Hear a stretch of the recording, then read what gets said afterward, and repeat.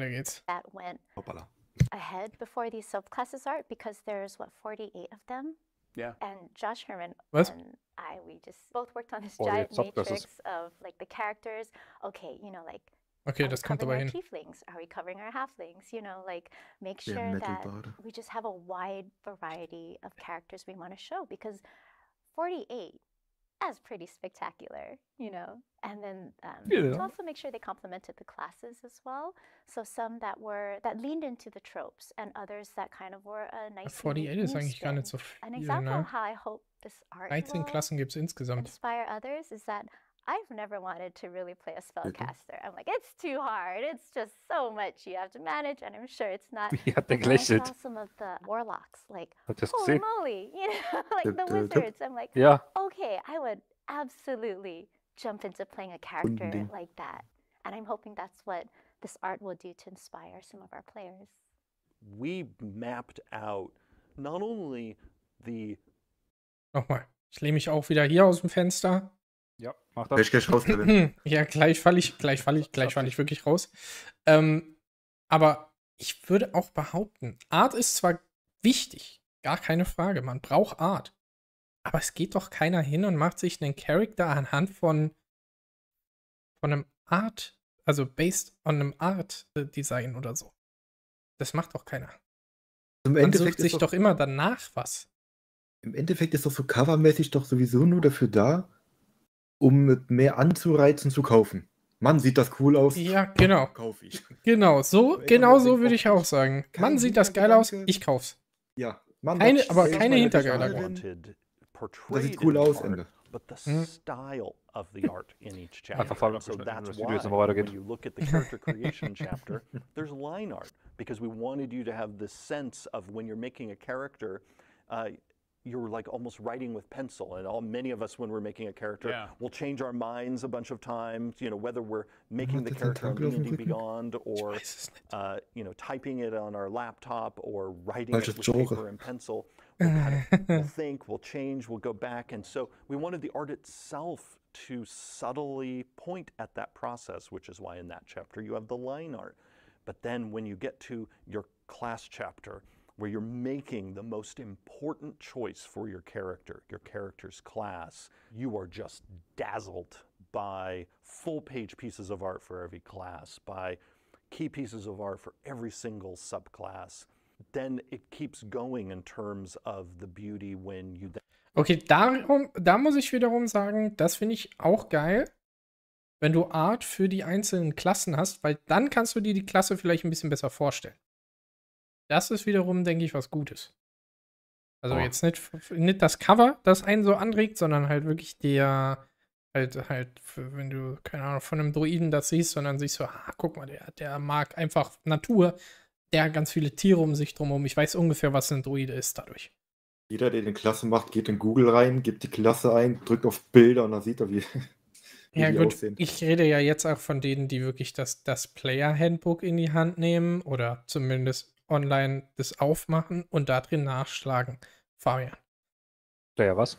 Ja, Ich habe genau verstanden, äh, ja, ne, kurzes Rauschen, ne? wach. Ich habe nur verstanden, Player schlagen.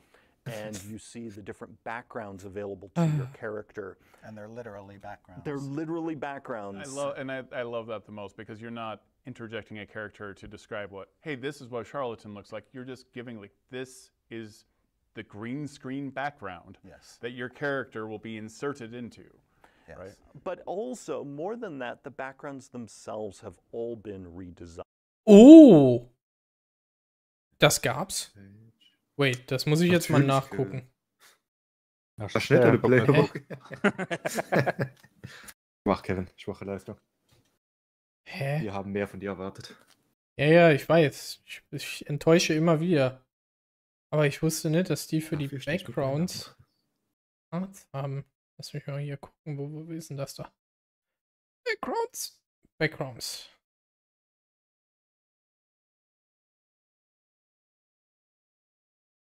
Die haben keine Art für die Backgrounds. Was labern die?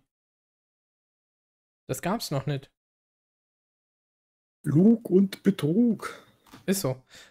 Cool. Aber finde ich nice. Jupp. and the entire In der digitalen Version ist system es drin.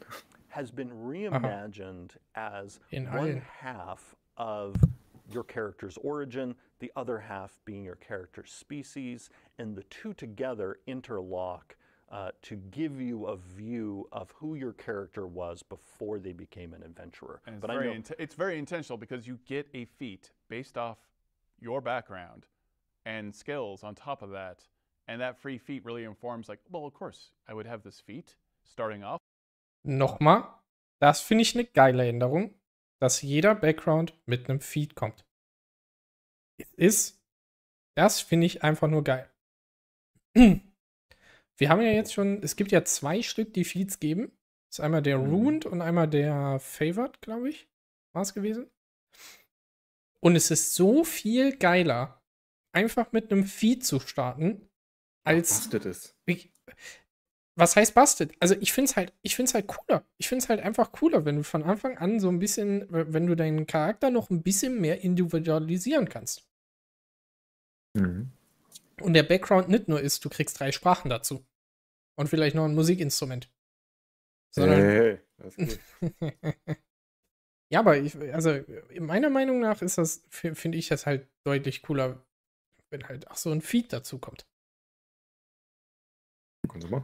Können Sie jetzt noch ein paar andere Feats noch hinkloppen? the background I come from. Ja. That makes perfect sense. I just like how that's tied together. And that also informs the ability scores. Yes, and I know we'll be dig- digging deeper into character origins in one of our other videos.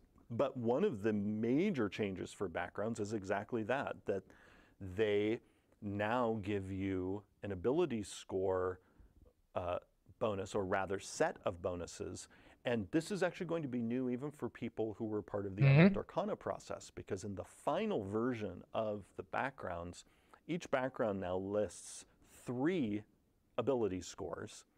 And you, if you select that background, you then choose uh, how you want to distribute your bonus uh, there. So you can either have plus two in one of them and plus one in another, or you can have plus one in all three of them.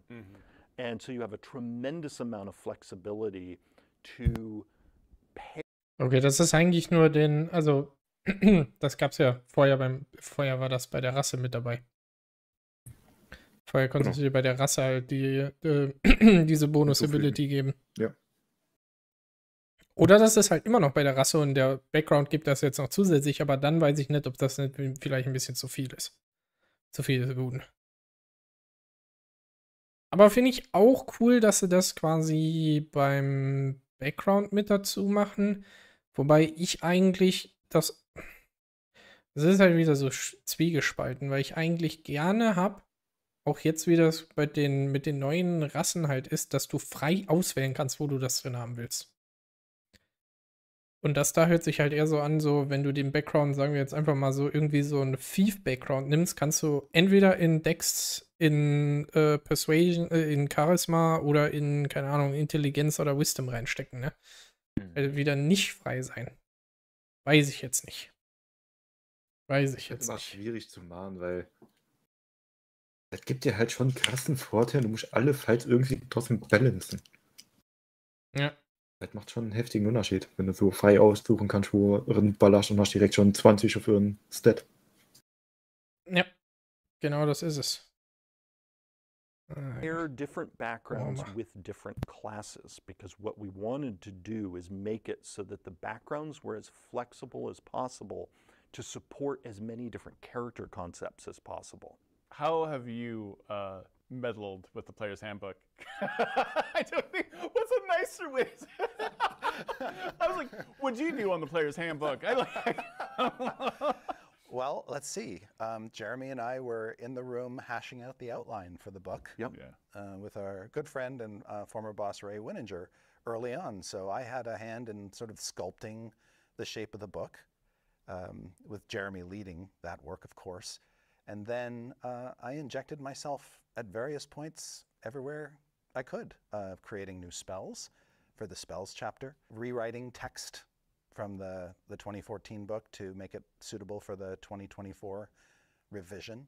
all three of the books we mapped out, Chris, Ray, and I, uh, we mapped out together. And what people are going to see when all three books are out is that intentionality that you talked about, Todd, that we not only carefully plotted out the player's handbook that, Yeah. that you've now seen, but also very carefully plotted out the Dungeon Master's Guide and very carefully plotted out the Monster Manual Mhm. and plotted out how the three books integrate with each other.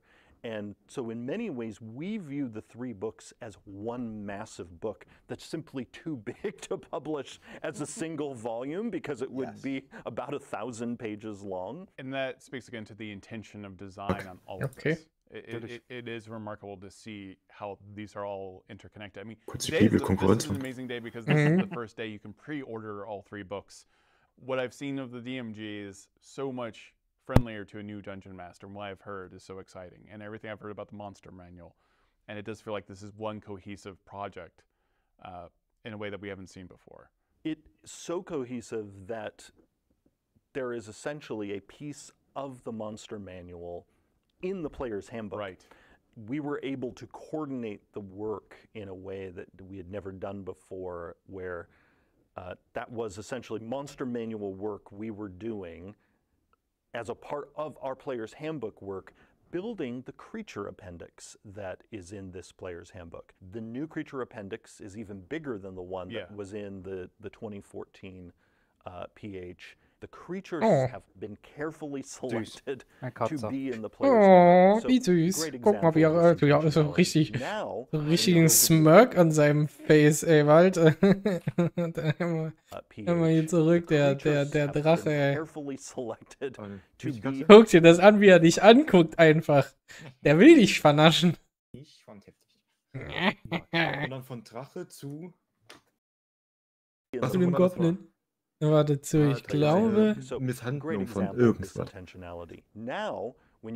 Oh, chapter Imp. Ich you glaub, das ist ein Imp. list of available mounts, well, every one of those mounts now has a stat block in the same book. And similarly, when it comes to your familiar options, if you cast Find Familiar, or if you're a warlock with your enhanced familiar options, all those options are Okay, die Eule sieht aber richtig geil aus. Holy rechts shit, ist so ein richtig. Pokémon. Hi, sir. Good day, sir. present. We also made sure I'm your owl. that druids had a really good starting selection of creatures that they could transform into using wild shape. Now, our friends who use the Circle of the Moon subclass, they're still going to need to visit the monster manual eventually when they get high enough level, uh, because we simply did not have enough pages in the player's handbook to have all the beasts that uh, Circle of the Moon Druid might want available. But even for them, we have a nice selection of beast options so that you can start playing with your main features in this book using the content that is all inside this very book. Yeah. And because we have 10 years of feedback on the 2014 books, we also knew that we were going to be making some adjustments to our stat block format mm-hmm. Yes. to make our stat blocks even easier to run and more fun to run. But that work is not confined only to the monster manual, going back to the idea that this is a, a thousand plus page book broken up into three pieces. That stat block revision work impacts Einfach der, einfach der Beholder mit einem Bart. Hey, Opa. Gegen Drachen. ah, herrlich, sehr Er schön. hat überall Klubschaugen, aber selbst sein Stab muss Klubschaugen haben. Ist halt so. Geil. Ist aber auch, also, dass sie, dass sie, also, ich gehe schwer davon aus, dass ganz, der, der ganze Art-Stuff wird auch in den Büchern drin sein. Was ich relativ cool finde. Ich habe auch gerade mal geguckt. Man kriegt Early Access zu dem Core Rulebook, wenn man das Master Tier hat. Ich frage mich aber nur, wie, äh, äh, wie früh man das Ganze bekommt. Weil ich sehe nämlich hier, dass man das auf jeden Fall, dass man sich da was gönnen kann. Aber ist auch schon ein stattlicher Preis. Dann gönn. Preis spielt doch bei dir keine Rolle. Was soll denn das da jetzt? Das wissen wir sowieso alle, dass Kevin sich das gönnen wird. Ey, Das ey, ist ey, ey. Liebe. Warte. Sag jetzt viel uns, dass du da nicht überlegst, alle drei zu holen. Also, das kostet halt 89 Dollar. Der Schnapper. Beziehungsweise 90. Sagen wir mal einfach Nicht so. mal Euro, also es ist nicht mal deine Währung, also es ist ja schon wieder so gut wie geschenkt. Ja, also, dass ich mir das hole, ne, also da brauchen wir wahrscheinlich nicht drüber zu reden. Aber, ähm, schon krass. Wenn man sich die, man, man kann sich auch die, man kann sich auch die Version holen mit dem, ähm, warte, ich kann das ja mal, kann das mal gerade on-stream zeigen.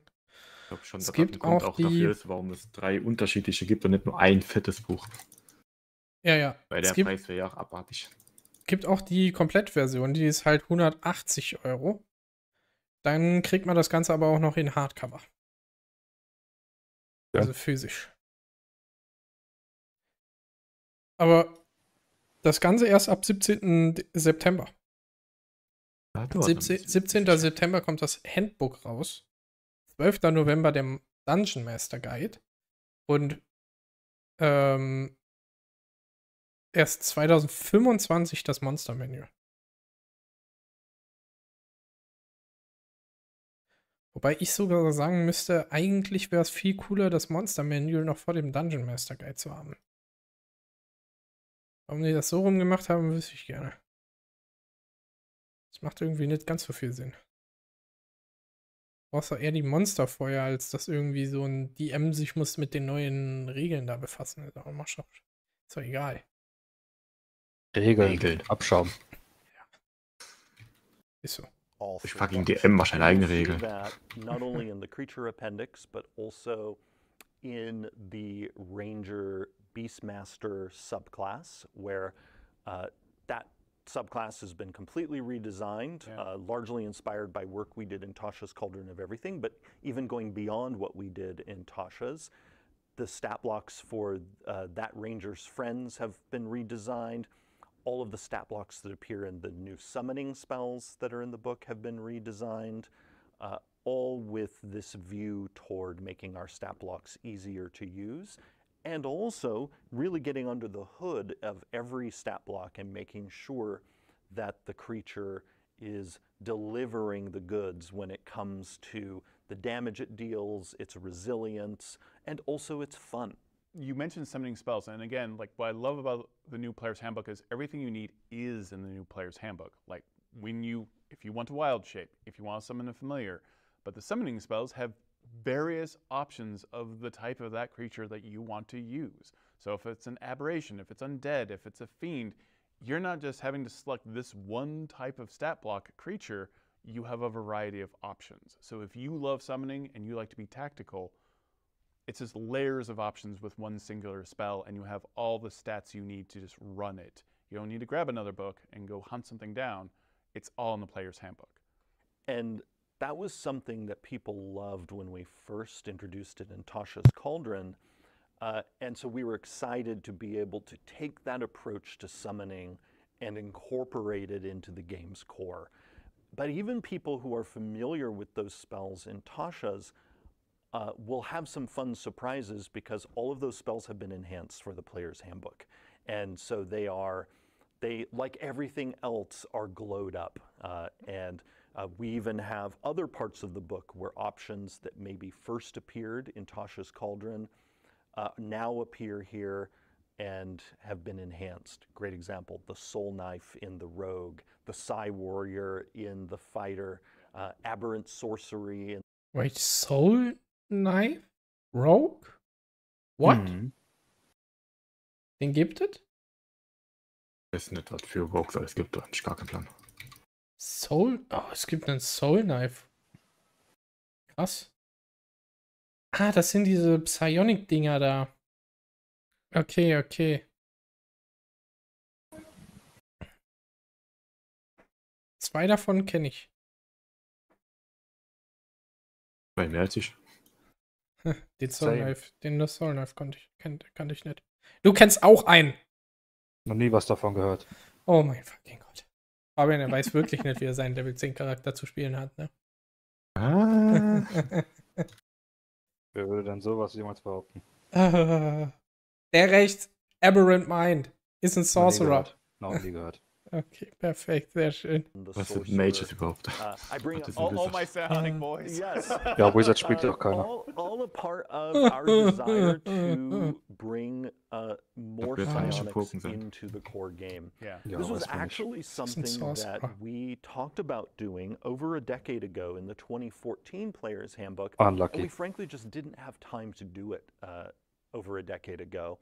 And so we thought now we have the time. And I like to think of it as the great old one warlock now having their friends show up so we can Right. you can now have your full party. yeah your full psionic crew whereas before in 2014 the great old one warlock was wondering where all their psionic buddies were and they're they've now all shown up for the party The gray old one is nasty now. Uh, In gray old one is new and, and super nasty. It gets in your head literally uh, to have some nice advantages in combat. yes Um, there are significant, lovely changes to so many of these subclasses that just amp them up to more what you wanted to do, more what the kind of core concept was. Again, the the, the Feywild patron for the warlock, you are just teleporting everywhere. You are just bouncing, and with every time you do use Misty Step, there's a new added-on effect. And it just feels like you've made a pact with a Fey creature. Like it makes narrative sense, and it gets me Fühlt excited. sich an, als würde man eine tactical Relatin spielen, ja. With all these subclasses because I feel like there might have been gaps before in the 2014 versions, and now those Gut, das will ja aber auch filled keiner in machen. for that wish fulfillment that we So all ist es. have. the Archfey patron warlock is a great example of a subclass that didn't just get tweaked.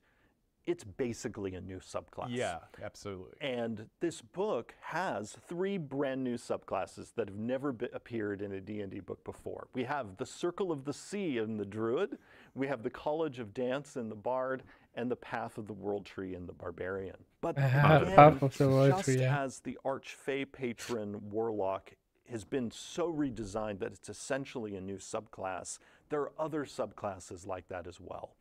The Warrior of the Elements in the Monk Yeah. has been so heavily reimagined, it's essentially a brand new subclass. The Beastmaster in the Ranger, essentially a brand new subclass. And when we do videos on individual classes, we can dig deeper Yeah. in other subclasses like them that are essentially brand new. And then we have other subclasses that are going to feel very familiar to people while at the same time having brand new options inside them. And again, remember that like weapon mastery has left no class that uses weapon mastery untouched. Like that has changed the game. For- Yes. if you're a paladin, if you're a ranger, a barbarian, a rogue, a fighter, the game is different now. Absolutely. Uh, every single class that is weapon focused, your play experience is going to be different now and more fun and more tactically interesting because of weapon mastery. Weapon mastery is so juicy that through feats, we've also made it so that even if you're a member of a class who doesn't get it, Yeah. you can take a feat to dip your toe into the weapon mastery pool. Just as we've always had a feat that allows non spellcasters, the magic initiate feat, Yeah. to get a little bit of that spellcasting flavor. I feel like the feats have also focused more on that wish fulfillment of there's like the skulker feat, and that has changed where you really feel like okay now I can like attack in combat, and not necessarily reveal myself. There's new features that make you feel like this feat, how I feel it should play, is playing that way. Jeder Okay. soll alles machen And there are way more feats. There are a lot of feats. But this book has 75 feats in it. Yeah. And it includes Okay. not Das ist ein bisschen zu only viel. a suite of feats that are for first level characters that they get through their backgrounds, uh, but we also now have epic boon feats that unlock for you when you reach level 19. And then between Huh? those epic Okay. feats and Jetzt muss ich aber auch ehrlich sagen, also Epic Boon Feed, das hört sich zwar cool an und das hört sich auch episch an, aber let's be real, also Level 19, das, da, also, da muss ich halt wirklich schon, also, das ist, das, da gibt es echt wenige Abenteuer erstens, die sowas machen. Und selbst wenn du eine langlebige Handio spielst, und mal Level 19 hittest, der ist schon sehr So. weit drin. Und du bist so overpowered. Ich glaube, da gibt es nichts, wo du dann noch sagst, das macht mich jetzt stärker. Ja, vielleicht, 19. vielleicht haben sie das ja mit diesen Epic Boons drin, ne? Vielleicht bist du 19 dann von einem Gott einfach, keine Ahnung, was für ein Wesen du dann bist, ne? Einfach immortal. Kein Gott mehr, sondern einfach darüber. Ja, das ist halt wirklich so. Also, das ist halt schwierig.